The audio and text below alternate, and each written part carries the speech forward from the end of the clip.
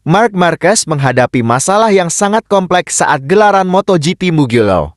Mulai dari layout sirkuit yang kurang disukai, tak ayal Marquez hanya mampu menorehkan sekali kemenangan saja pada kelas utama di kandang Rossi ini. Masalah kedua tentu saja, karena Mugello memiliki trek lurus yang sangat panjang, sehingga Desmo GP23 semakin tertinggal dengan Desmo GP24, terlihat bahwa seluruh penunggang Desmo GP23 hanya mampu finish di papan tengah dan belakang. Masalah selanjutnya adalah Markas memiliki masalah dengan motornya. Ini terlihat jelas setiap Markas keluar dari last corner, terlihat asap mengepul keluar dari bagian belakang motornya. Kepala Progress ini mengonfirmasi bahwa asap tersebut berasal dari gesekan ban belakang dengan rake high device atau perangkat pengatur ketinggian shock breaker. Untung saja dengan segala masalah tersebut Marquez masih finish keempat.